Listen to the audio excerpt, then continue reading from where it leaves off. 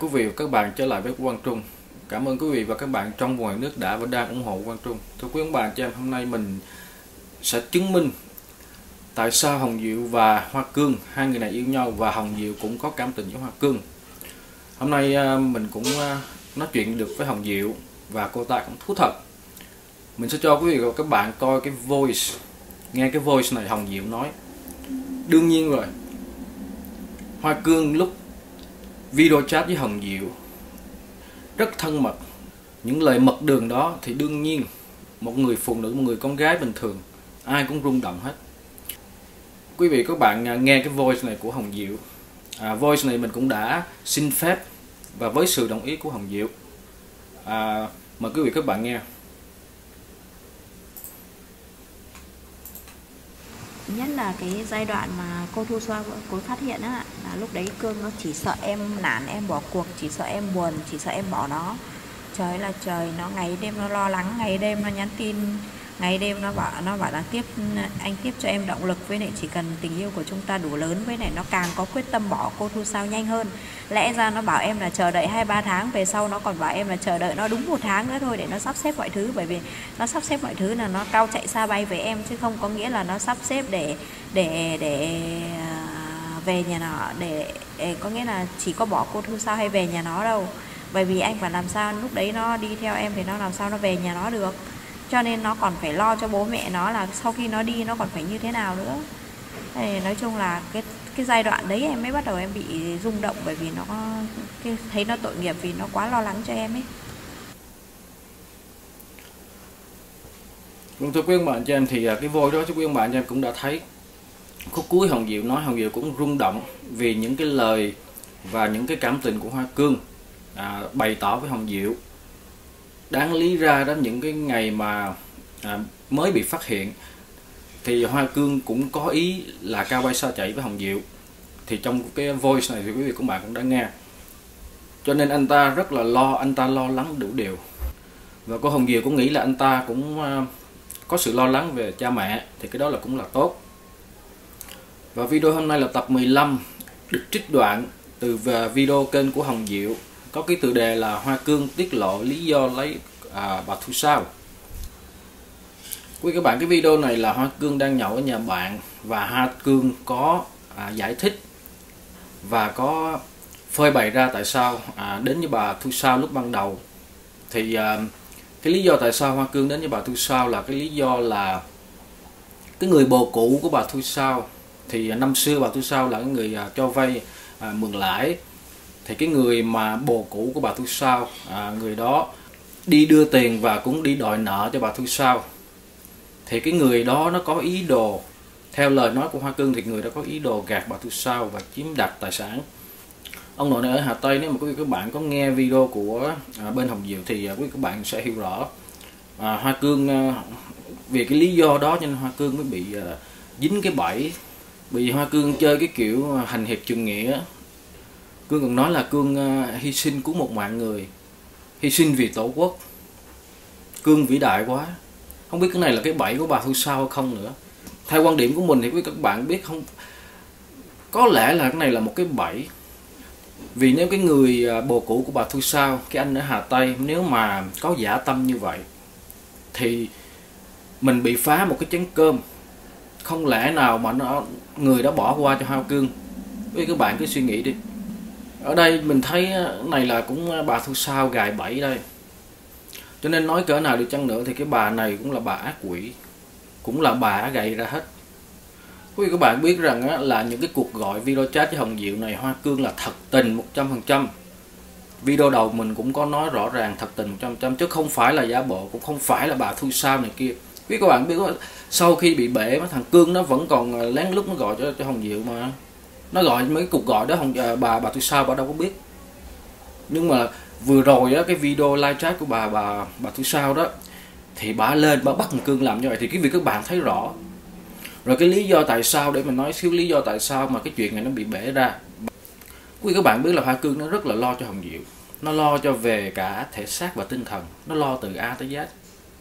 Thậm chí nó lo cho cái cái cái cái, cái cảm xúc của hồng diệu buồn vui này kia của hồng diệu luôn nữa cho nên cái lúc đó đó nó nhậu xỉn về cái ngày đó đó nó nhậu nhậu xỉn về thì à, đại khái nó nhớ hồng diệu quá. Nó xỉn rồi nó không biết. Anh nhớ hồng diệu quá anh bắt điện thoại lên anh gọi hồng diệu. Thì con ác quỷ con ác quỷ này nó mới bắt được. Thì lúc đó nó bị nó bị bể ra luôn. Đó là như vậy. Quý các bạn biết cái bà này là bà cầm đầu thằng này bà điều khiển thằng này. Thằng này nó như là một người mà nô lệ khổ sai giống như làm những người mà bị đầy ra côn đảo vậy đó. Cũng đã từ lâu rồi chứ không phải bây giờ đâu. Những cái video mà là quay với là bà hường này kia cái đó là là diễn thôi. Đúng cộng đồng mạng và các quý vị các bạn nó đúng cái đó là diễn thôi chứ không phải là là thật. Đu đưa đu đưa đó là diễn thôi. Rồi có một hôm quý vị các bạn biết cái thằng cương nó đi nhậu xỉn về. Nó nó không gọi cho hồng diệu. Thì uh, nó ham ờ, xem đánh bài đánh bạc gì đó nó không gọi cho hồng diệu. Thì hồng diệu giá bộ là ghen giá bộ là à, quan tâm tới à, đại khái là ghen tuông này kia đó. Thì cái thằng này á nó thấy hồng diệu vậy nó sợ quá trời luôn. Rồi à, cái lúc mà hồng diệu à, đang à, tập vợt nhảy nhảy nhót gì đó trong cái đội nhảy thì nhưng cái điện thoại của hồng diệu thì bị bị hết tiền rồi. Rồi nó nó lo lắng dữ lắm. Nó tự lấy tiền từ túi nó ra nó nạp tiền cho hồng diệu để hồng diệu gọi cho nó.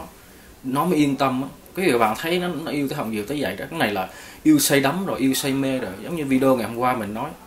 Còn gì đâu nữa mà để mà mà để chối. Cho nên mình mới nói mình khuyến khích là cái bà già ác quỷ này hãy chúc phúc cho hai cháu đi. Ở đây mình không có suối. Ở đây cái video ngày hôm qua có nhiều bạn lên cũng hiểu lầm. Mình nói nếu hoa cương nó đến với hồng diệu thì mình ủng hộ có người lên nói, ồ, này kia, tại sao làm chuyện đó lại ta suối người ta? Người ta có giấy tờ mà. Cái chuyện giấy tờ là giấy tờ, còn cái chuyện mà nó khai trái với đạo lý, nó đi ngược lại với đứng tàu quá là cái chuyện đó là nó thực thực tế. Còn giấy tờ giấy tờ đốt mấy hồi? Ly dị mấy hồi? Biết bao nhiêu cặp vợ chồng bị tan rã? Cưới nhau, xe hoa đưa đón Mercedes, hai ba chục cây vàng cưới nhau mấy tháng cũng bỏ nhau vậy. Đó có tình yêu thật sự không? Tại sao cái tình yêu thực sự với hồng diệu, hoa cương trao hồng diệu cái tình yêu đó, tại sao mình không ủng hộ? Mà mình đi cái ủng hộ với cái tình yêu mà giả dối. Cái chuyện mà giấy tờ là cái chuyện mà chuyện pháp luật, ok? Cái chuyện pháp luật, cái đó mình không có nói chuyện pháp luật. Ở đây mình nói chuyện đạo lý. Bây giờ hoa cương nó đang bị khổ sai, nó đang bị cái bà này đè đầu bắt làm nô lệ. Còn hơn là còn hơn là người ở nữa. Bà đem này về bà làm gì? Bà bắt này livestream bà bắt này này kia này kia. Đại khái bây giờ cái âm mưu của bà mà mình nói lúc đầu âm mưu của bà lấy này về là để cái à, bà kiếm tiền rồi bà lợi dụng rồi bà bắt này làm này làm kia. Vì bà cũng sắp rồi bà cũng có tuổi rồi bà biết là không có thằng nào mà chịu làm như thằng cương cái đó, cho nên bà bắt thằng cương về để lo cho bà. Cuối cuộc đời này, ở đây trong video này các bạn cứ vô video coi thằng cương nó cũng nói thật luôn. Thằng cương nó biết hết bởi vậy cho nên lúc đầu á, mình cũng nói thằng cương nó cũng có cái đầu chứ không phải là không. Nhưng mà nó không có cái bản chất của nam nhi, nó không có cái lập trường. Cho nên nó nó không có biết cái đường mà để nó nó thoát nếu mà người đàn ông khác nhìn thấy vậy là họ tự tìm cái lối thoát liền. Mà thằng cương nó yếu cái đó. Thằng cương nó nói luôn mục đích của bà thôi sao lấy nó về đó là để phục vụ để nô lệ thằng cương nói trong video luôn. Cho ngày tháng cuối đời của bà. Và trong video này cũng cho thấy là hoa cương á, có nhắc tới là có nhiều lần bà đòi đi tự tử. Nhưng mà hoa cương á, nó, nó vì cứu một mạng người thì bây giờ cái bên trong mình phải tìm hiểu từ từ. Những cái video mình coi mình tìm hiểu từ từ thì mình biết chính xác á, là nó như thế nào. Ở đây mình nói cho quý vị các bạn mới luôn ngày 20 tháng 10 năm 2019 tức là cái bà này bà đầy đoạn này từ lâu rồi chứ không phải là là, là mới đây. Cho nên mình mới nói cái lúc ban đầu đó không biết bà có gài cái anh Hà Tây này cái anh mà bồ cũ của bà đó cái anh mà đòi nợ cho bà đó không biết có phải bà gài cương vô không? Cho nên mình mới thắc mắc là không có lý nào mà thằng trai trẻ mà đi lấy cái bà này. Thì ngày 20 tháng 10 năm 2019 á, ngày à, ngày ngày phụ nữ ở Việt Nam đại khái là như vậy mình cũng không có rõ ngày đó tại vì mình ở bên đây. Thì bà kêu Hoa Cương đó tức là bà bỏ ra cũng số tiền cũng hai hai chục triệu mười mấy hai triệu gì đó mua món quà mua vàng bạc à, đá quý gì đó tặng cho bà cái ngày lễ phụ nữ. Thì à, cái số tiền đó là không phải của hoa cương tại vì bà ép hoa cương làm như vậy, đóng kịch thôi. Những cái số tiền đó, và những cái món quà đó là tự bà mua, tự bà mua xong bà quay livestream bả bắt thằng này là ờ, mày lên mày mày làm vậy cho tao, mày mày giả bộ mày yêu tao, mày tặng cho tao đại khái đó. Để cho mọi người thấy, để cho cộng đồng mạng thấy là cái tình yêu này tao với mày là thật sự. Nhưng mà cương nói là bà cương nói trong video là cương nói này là bà dựng, bà dàn cảnh, bà dựng chuyện lên vì mỗi lần mà hạng cương nó nó nó bực lên, đại khái là bây giờ nó nó muốn đi thì bà lại nó đòi tự tử cho nên thằng này nó cũng khó xử. Nhiều khi thấy nó cũng tội nghiệp, mình càng coi sâu để mình phân tích video á, thì mình càng thấu hiểu. Đối với mình, nếu mà như nếu như mình đi, mình thấy vậy, hoặc là lúc ban đầu mình thấy là cái, nó trái với cái đạo lý rồi thì mình không sẽ vô, mình không sẽ bắt đầu. Cho nên mới nói với các bạn biết khi mình làm một cái gì mình phải tìm hiểu cho kỹ mình phải suy nghĩ cho kỹ và mình phải hỏi người này người kia ý kiến người này người kia. Bởi vì khi mà vô cái cái cái đầm lầy rồi thì khó ra lắm. Cái đường giang hồ nó cũng vậy. Khi mà vô rồi là rất là khó ra. Cho nên đó, trước khi mà mình bước đó, thì mình phải suy nghĩ cái bước đó đó nó có ý nghĩa hay không? Tương lai mình có sáng rạng hay không? Hậu quả nó như thế nào? Thì sau đó mình mới bước. Chứ không phải là Ờ, vì ham muốn, vì lợi nhuận, vì tiền, hoặc là vì một cái tình yêu gì đó, một tình yêu mà nó không có chân thật. Khi mà xa vào á, muốn đi ra, đó là một cái vấn đề. Ở đây mình cũng nói với các bạn trẻ và các bạn nhỏ, các bạn không đi học thì các bạn đi làm, các bạn không đi làm thì các bạn đi học bởi vì cái tương lai của các bạn á, sau này á, các bạn lớn các bạn mới hiểu. Không học á, sau này nó khổ cỡ nào. Không có kiến thức á, thì sẽ dễ bị xa vào những cái đầm lầy xa vào những con đường xấu. Từ khi mình có kiến thức rộng kiến thức mình mở mang thì mình sẽ nhận xét được cái nào đúng cái nào sai cái nào nên làm và cái nào không nên làm. Cho nên á, các triều đại vua năm xưa triều đại vua cho tới cái thời bây giờ, cho tới năm 2020 quốc gia nào, thủ tướng, chính phủ, bất cứ đất nước quốc gia nào cũng khuyên và khuyến nhủ các bạn trẻ nên đi học. Không học sau này không có làm được hết cũng không có biết nhận xét. Và Hoa Cương là một cái thí dụ cho các bạn trẻ. Và trong cái video Hoa Cương có nhắc tới cái vấn đề này, mình cho cái vấn đề này là sàm xí đú. Hoa Cương nói là bà Thu Sao á. Đe dọa Hoa Cương. Nếu Hoa Cương bỏ bà Thu Sao, thì Hoa Cương sẽ không sống qua 31 tuổi. Nhưng khi Hoa Cương nói chuyện với Hồng Diệu thì Hoa Cương cũng ờ, tỏ ra máu anh hùng. Hoa Cương ờ, đáp lại một câu rằng, thà tao chết trước 30 tuổi còn hơn bị hành hạ suốt ngày như vậy. Đúng rồi Hoa Cương. Cái câu này á em phải nói thẳng với cái cái cái, cái, cái bà ác quỷ này. Nói thẳng vô mặt bà. Vì các bạn thấy hôm nay bà livestream. Mình nhận được một cái một cái tin một cái livestream. Bà livestream bà bà bà quýnh thằng này bà giả bà tát bà tay thằng này. Vì các bạn thấy người vợ nào như vậy? Mẹ còn hơn là là bà ngoại nữa. Lúc đó thằng nhỏ nó livestream nó bán hàng gì đó đại khái nó mệt quá nó nằm ngủ thì bà bà livestream bà tát tát cái nào? Thấy vợ vợ nào như vậy không? Nếu mà vợ bình thường cũng- cũng không có vậy nữa tác để cho người ta coi thôi. Bả làm như vậy để bả, bà chứng tỏ cái gì? Chứng tỏ bả là một đại ca một tú bà hoặc là chứng tỏ thằng cương là là người nô lệ cho bả. cho nên mấy hôm nay mình nói thằng cương là nô lệ khổ sai là đúng. Thật là như vậy. Quý các bạn coi video của Hoa Cương uh, video chat với Hồng Diệu là các bạn thấy cái thằng này nó cũng khổ tâm. Và bà này á, mỗi ngày hành hạ nó bởi vì khi mà nó nói chuyện với Hồng Diệu thì các bạn biết là nó nó, nó say mê say đắm không nói rồi nhưng mà nó nó tỏ ra cái lòng chân thật của nó và cái đau khổ nó khi nó sống với cái bà thu sao ác quỷ này. Càng coi video thì quý các bạn mình cũng ờ, cảm thông cho thằng cương. Mình không ghét thằng cương mình cũng chả ghét ai. Mình phân tích theo đạo lý theo lý lẽ mình nhiều khi mình cũng phải chửi anh cương nhiều khi cũng mình phải à, lời này tiếng nọ với anh cương để cho nó thất tỉnh.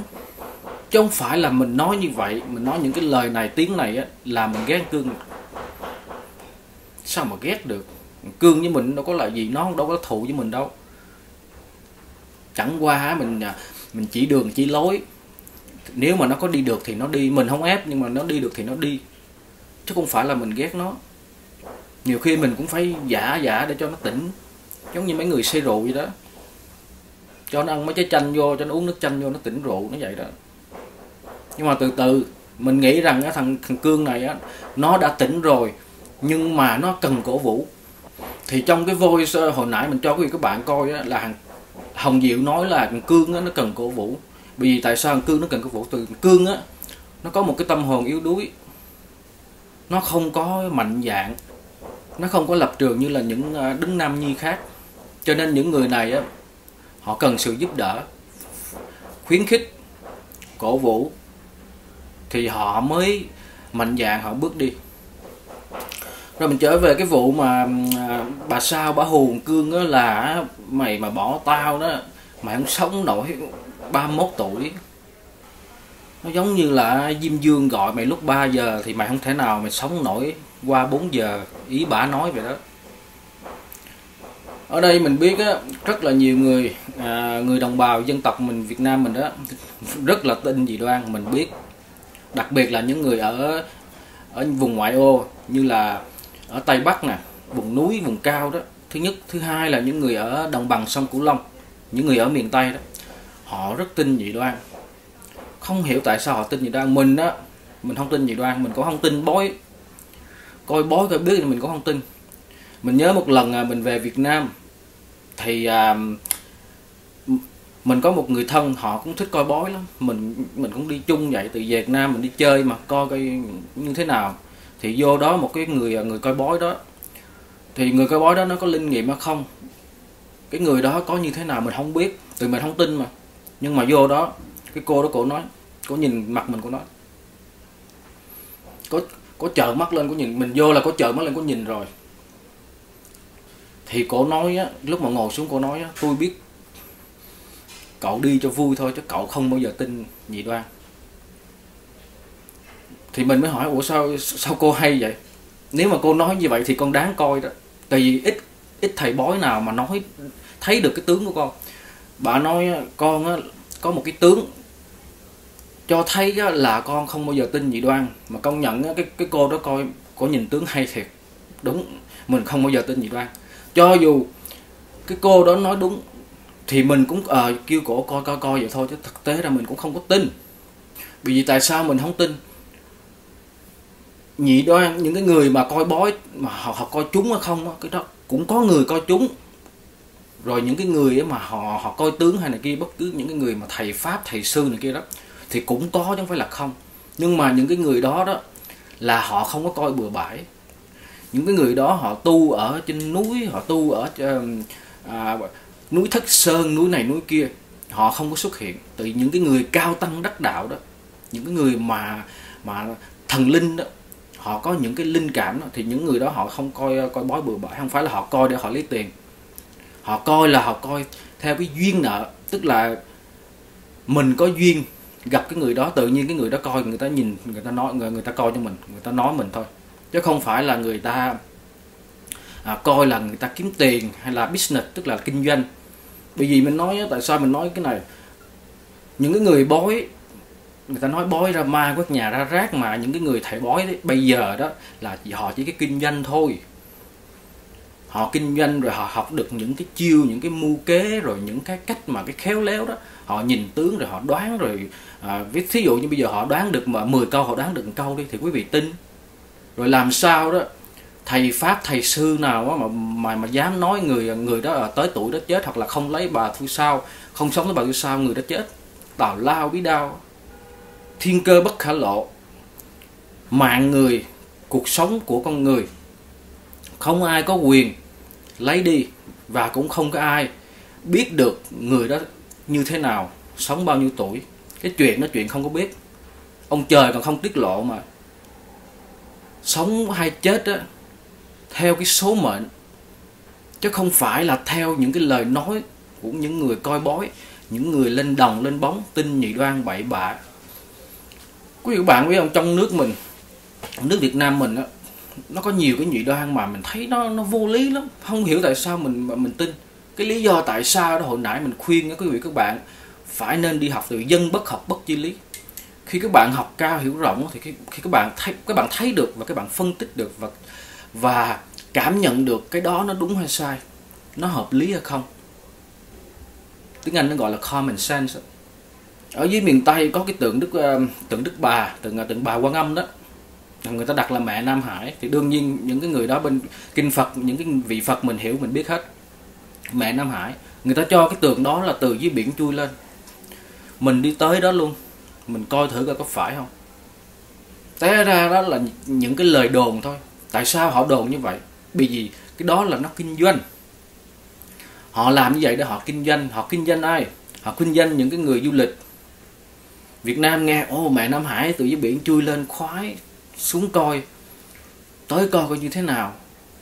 Nhưng mà cái tượng đó là người ta xây người ta đem ra người ta đặt làm bằng thạch cao rõ ràng. Mình rờ rờ mình coi hết á. Cái tượng đó là cái tượng người ta đem ra thôi. Dân tình dân chúng dân tình xứ sở chạy tới còn lại quỳ lại hung hung nhất là người dân tộc và dân tộc Khmer đó.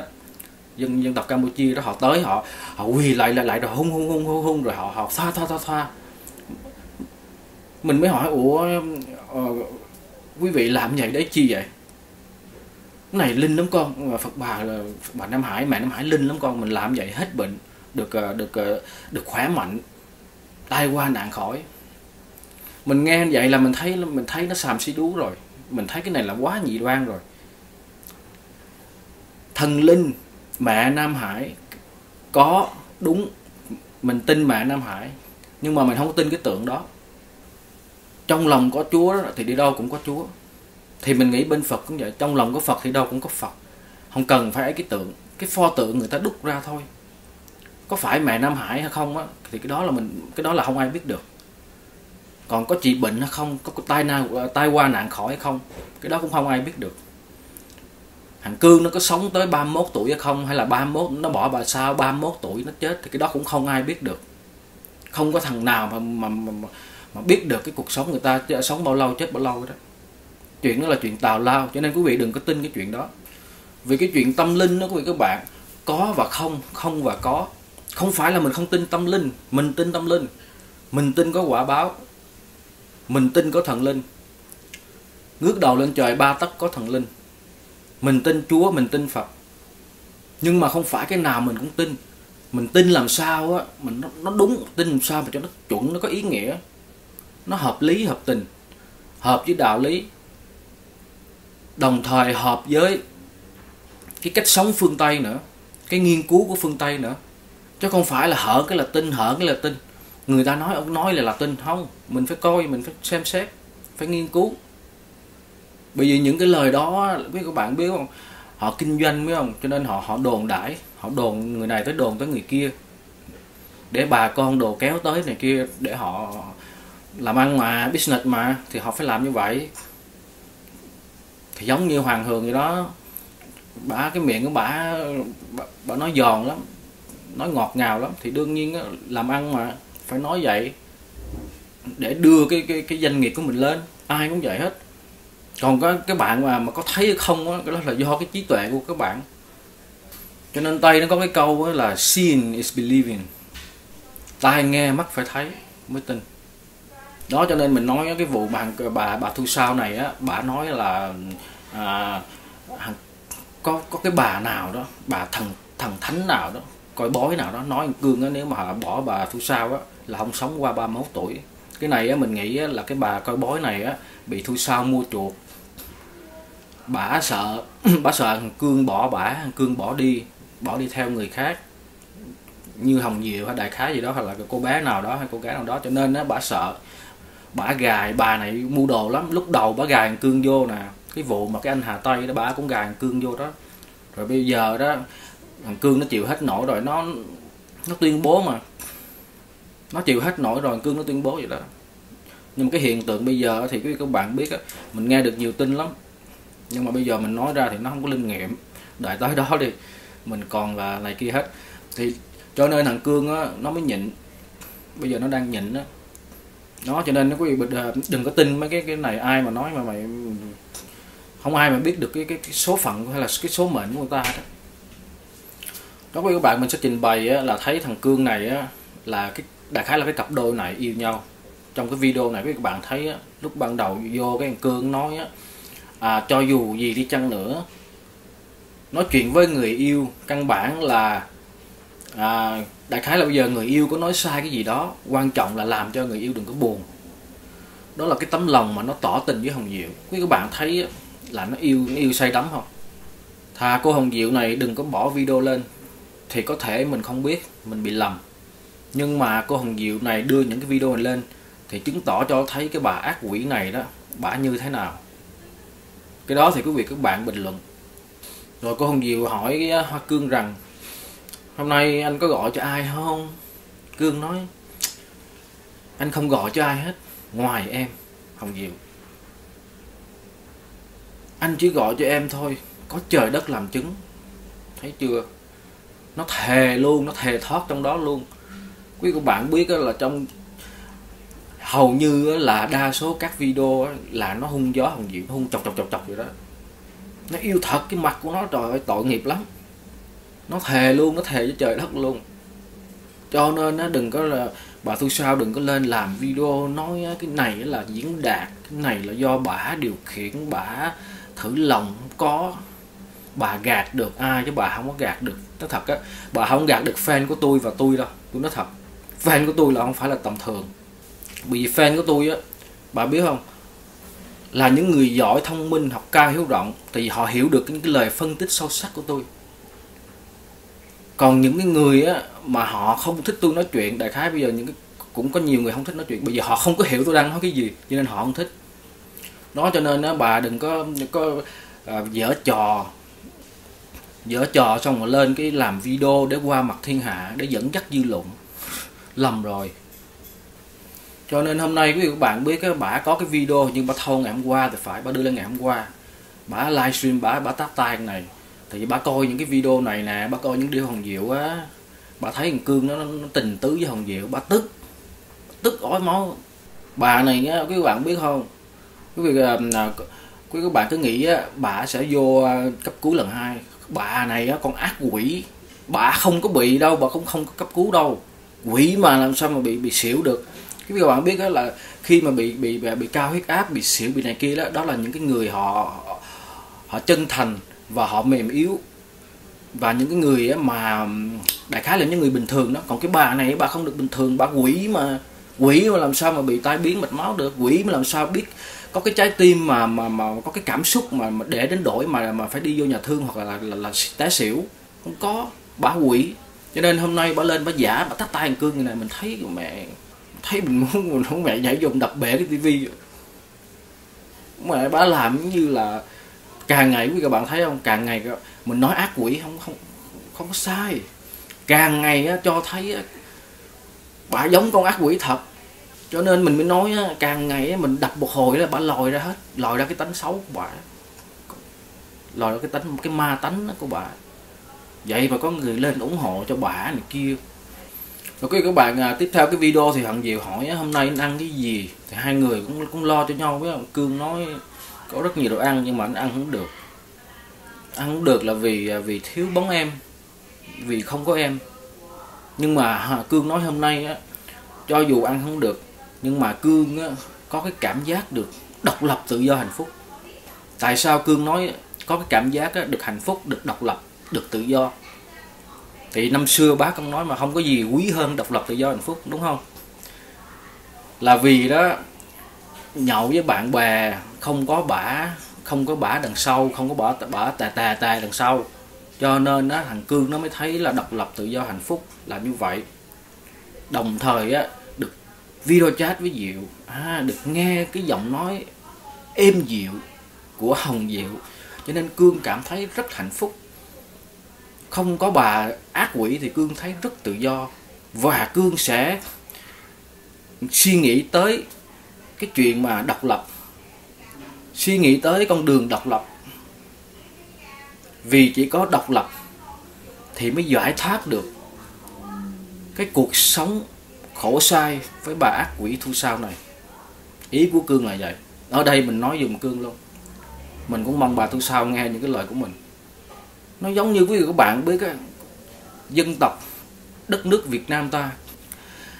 Hàng nghìn năm bị đô hộ bởi giặc tàu những cái thời vua từ cái thời mà hai bà trưng cho tới cái thời vua quang trung những cái vị vua các vị vua như vua hùng vương không ngừng hy sinh để bảo vệ đất nước để giành độc lập.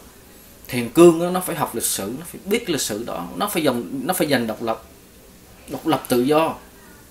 Cho nên nói mình phải đi học và phải biết lịch sử. Cái lịch sử nó quan trọng lắm. Cái lịch sử đó, nó đi với chính trị. Mà cái chính trị á nó đi với kinh tế. Mà kinh tế đó thì nó đi với đời sống. Đời sống á, nó sẽ đi với cuộc sống. Cuộc sống là cuộc sống riêng của mỗi người đó. Cho nên nó từ cho nên nó thằng cương này á, mình thấy là từ từ nó sẽ hiểu những cái đạo lý. Nó phải coi đời sống tivi cho nhiều chút. Nó phải coi quan trung nói chuyện nhiều chút thì từ từ nó sẽ hiểu nó cũng hiểu một chút nhưng mà nó mình nghĩ là nó nghe thôi nó nghe và nó nói thôi chứ nó không có hiểu được cái chân lý cái sâu sắc bên trong.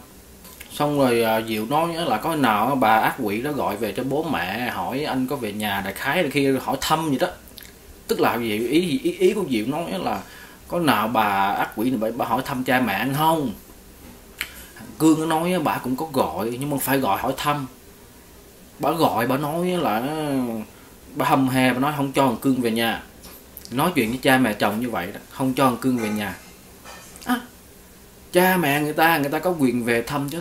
Bà làm cái quái gì bà không cho thằng cương về nhà? Cái việc các bạn thấy không? Cái các bạn thấy ma tánh của bà này đó. Bởi vậy mình gọi bà ác ma có đúng hay không?